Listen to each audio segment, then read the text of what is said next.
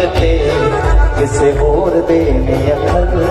ਜੀ ਮੈਂ ਗੁਰਮੁਖੀ ਦਾ ਬੇਟਾ, ਜ਼ਰਾ ਤਾੜੀਆਂ ਤਾਂ ਮਾਰੋ।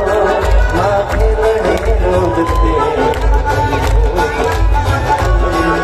ਖੁਦਾ ਨੂੰ ਕੌਣ ਦੱਸੇ? ਉਹਨੂੰ ਦਾ ਨਚ ਮਿਲੇ ਨੇ। ਖੁਦਾ ਨੂੰ ਕੌਣ ਦੱਸੇ? ਉਹਨੂੰ ਦਾ ਨਚ ਮਿਲੇ ਨੇ। ਉਹ ਜਿਹੜੀ ਟਿੱਬਿਆਂ ਚ ਟਹਿ ਕੇ ਉਸ ਖੋਲ ਦੇ संग खेलने मिल गए। किसे होर दे